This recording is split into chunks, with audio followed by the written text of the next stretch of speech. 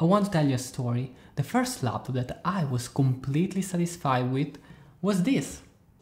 The year was 2010 and I remember I had to save for quite some time years to get that, but it was really worth it. The overall experience and the possibilities offered by it were really worth the price for the time. Fast forward 10 years later to today, I don't think that the laptop market has changed as much as one could have dreamed of. But the M1 is said to be this transformative step forward that the laptop industry needed. I'd like to add a perspective from the point of view of someone who considers the latest Intel Mac offerings not on the same level as the competition. Let's broaden the horizons and see not just how the M1 looks in the fenced Apple garden, but how it impacts on a broader level the whole ultrabook scene. And I'll tell you something, those M1 Macs look incredibly good for quite a variety of use cases with the caveat that your workflow is properly, thoroughly and reliably supported. The Apple ARM transition is a welcome fresh paradigm for the laptop scene. Apple computers had a track record of bringing to the market truly disruptive and innovative products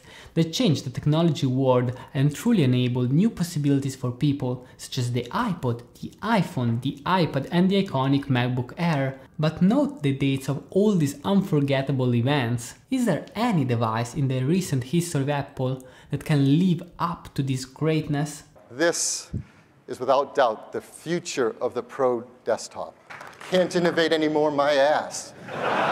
Let's be merciful and forget about that. In my personal view, Apple offered the most compelling laptop products up until 2015.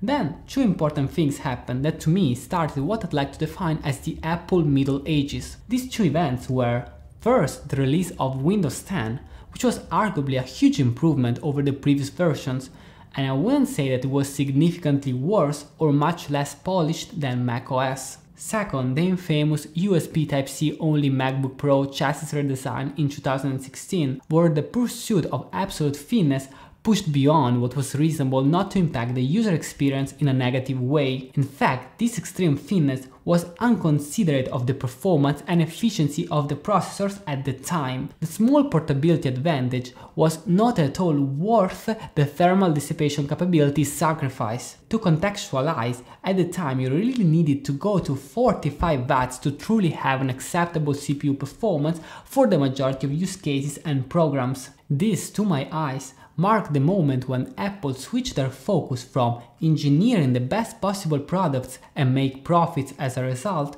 to making all the decisions with the sole purpose of maximizing profits.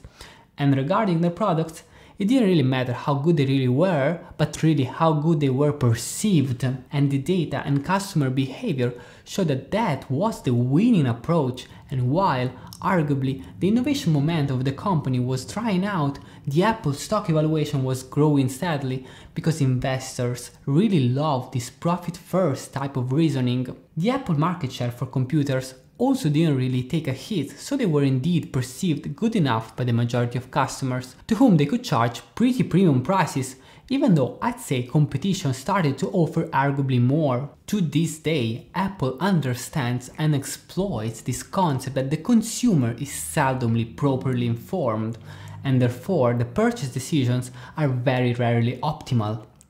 Like and share this video to change that. My perception is that Apple is still a company that is focused primarily on profit rather than innovation, and yet fortunately this time around the ARM transition plays in the interest of both. Apple is in a unique position on the market to succeed in this transformation. They make the hardware, the silicon design, the operative system, which is by the way instrumental in making an effective use of an asymmetrical core design, and also four crucial programs Xcode, Final Cut Logic and Safari.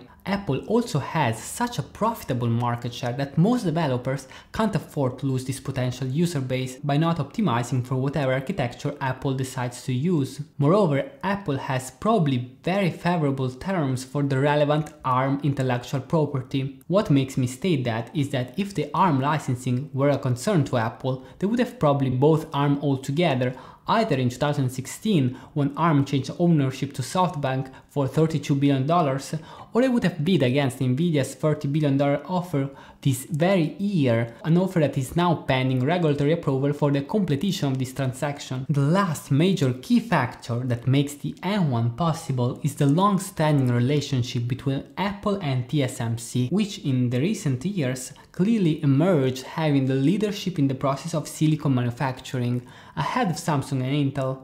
This helped Apple secure the first capacity allocations for the EUV 5nm production with a priority over AMD.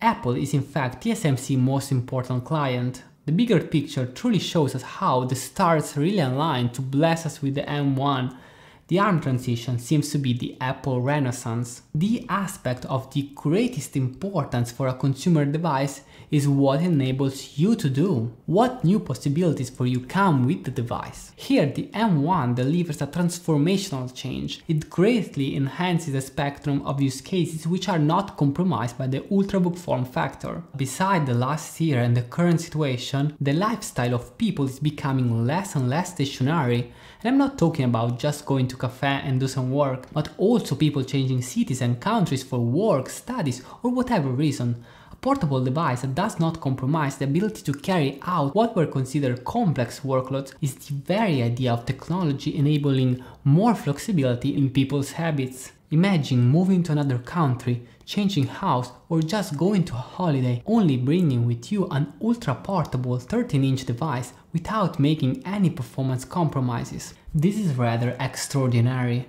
And while I think that almost everyone would benefit from an external monitor, both for the screen real estate as well as for having an ergonomic setup, those can be in the worst case brought and sold up on the used market if a relocation would make it inconvenient to bring the monitor with you. Apple improved on some crucial aspects concerning the quality of life experience of the user, such as battery life and the noise during operation. These are all massive improvements in their own right and yet I think that it's unfortunate to leave on the table the potential of optimization of the chassis of these three products. You can see that the logic board is significantly smaller than previously because the M1 doesn't require a beefy power delivery system and the RAM is now integrated on the chip itself. Both of these factors free up a significant PCB space which could have been otherwise utilized for optimization of the chassis design. Most notably in the case of the MacBook Air there's also the extra space due to the removal of the fan, but to be fair that was not particularly optimally taken advantage of in the first place and the Mac Mini could have had an even smaller power supply component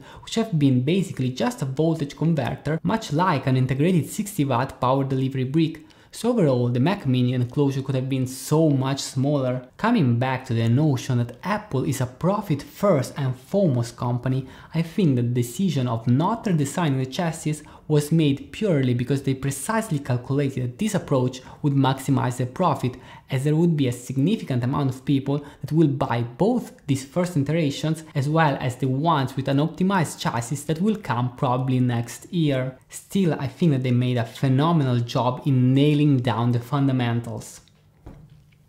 The only problem I've got with Apple this time around is the outlandish prices for the RAM and storage upgrades. My naive vision that I would love to see OEM implement is that configuration should be approached in a way that if I would benefit from a particular specification, the upgrade should be priced in a way that I shouldn't need to think that hard whether I should pay the upgrade or to come out with ways to perhaps adapt and bend my workflow to fit under a determined amount of RAM or storage space if the state of technology and the prices for RAM and SSD modules allow for that not to be a problem. Fact check, never make a suboptimal purchase again.